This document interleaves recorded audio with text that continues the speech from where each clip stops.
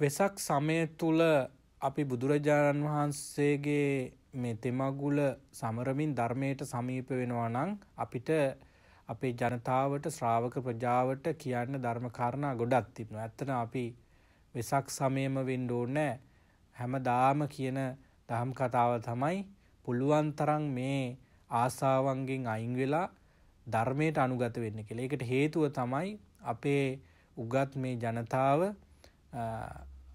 නිතරෝම කුසල් දහම් කරනවා පින් දහම් වල වරින් වර නිරත වෙනවා.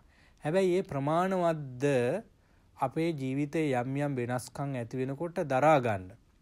අපි දකින්න සමාජයේ දානමාන පින්කම් කරනවා තමන්ගේ ඥාතින් හිතවතුන් නැතිවීම හේතු කොටගෙන. ඊළඟට පන්සල් පෝෂණය කරන්න පවත්වගෙන යන විශාල දායකත්වයක් බොහෝ අය දක්වනවා මුදල් ගෙවමින්.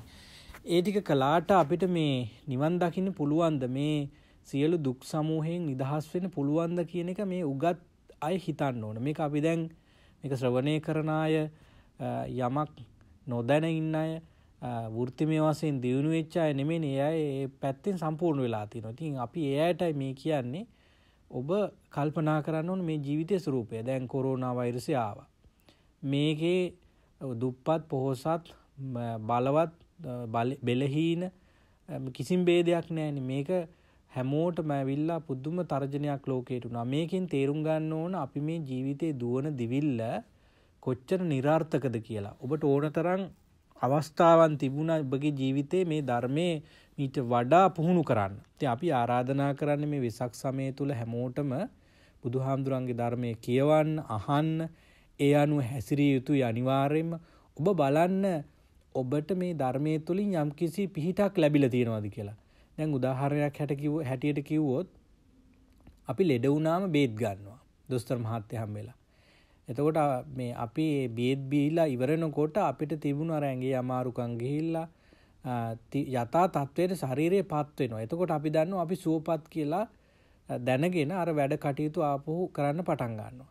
මේ ධර්මයේ පුහුණු කරන්නෙත් කෙනෙක් හිතේ තිබෙන ලෝභ ද්වේෂ මෝහ සහ ඒ නිසා ඇතිවෙන්න දුර්විපාක නැති කරගන්න. එතකොට ඔබ ධර්මය පුහුණු කරනකොට ධර්මය හැසිරෙනවා නම් ඔබගේ තිබෙන ආසාවන් තරහ ක්‍රෝධ වෛර ඊර්ෂ්‍යා සංසිඳිලා ඇලීම් ගැටීම් වලින් සිත නිදහස් වෙලා සුවපත් භාවයක් දැනෙන්න ඕන. දැන් බලන්න ඔබ කරන ඔය මේ වෙනකොට කරන පූජා චාරිත්‍ර වාරිත්‍ර දන්දීම් ආදීන් ඔයගේ මානසික සුවයක් දීර්ඝකාලීනව ඇවිල්ලා තියෙනවද කියලා. ඇවිල්ලා නැත්තම් ඔබ ධර්මයේ පුහුණු කරලා නැහැ. චාරිත්‍ර ටිකක් කොහේ කරලා තියෙනවා.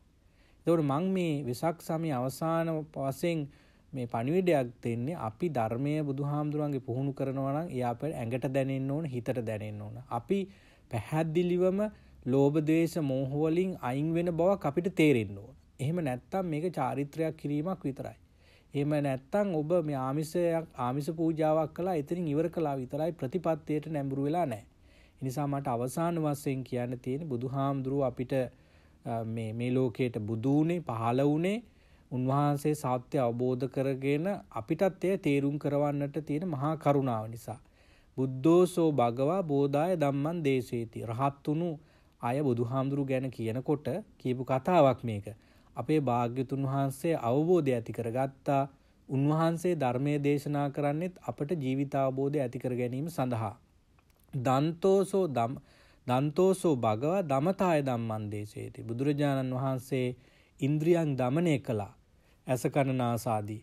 එතකොට උන්වහන්සේ ධර්මය දේශනා කරන්නෙත් අනිත් අයට ඉන්ද්‍රියන් දමනය කර ගැනීම පිණිස සන්තෝසෝ භගවා සමතාය ධම්මං දේශේති.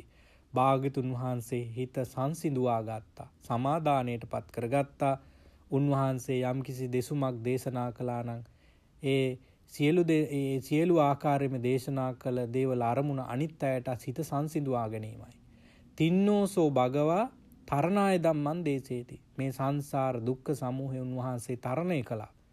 ඒ දුක් සමූහය තරණය අනිත් තරණය කරන්නටයි අනිත් අයට ධර්ම දේශනා කළේ. පරිනිබ්බුතෝ සෝ භගවා පරිනිබ්බානාය ධම්මං දේශේති අවසාන වශයෙන් කියනවා අපේ භාග්‍යතුන් වහන්සේ පිරිනිවියා සියලු කෙලෙස් වලින් නිදහස් වුණා පරිනිර්වාණයට පත් වුණා උන්වහන්සේ බණ කිව්වෙත් අපේ පරිනිර්වාණය පිණිසයි කියලා. මේ ටික අහනකොට ඔබ හිතට ගන්න ඕන බුදුහාමුදුරු ධර්ම දේශනා කළේ අපිට අවබෝධය ලබන්නට ඉන්ද්‍රිය සංවරය පිණිස හිත සංසුන් කර ගැනීම පිණිස දුක් සයුරෙන් එතරවීම පිණිස නිවන් දැකීම පිණිසයි කියලයි අපිට අවසාන වශයෙන් කියන්න තිබෙන්නේ.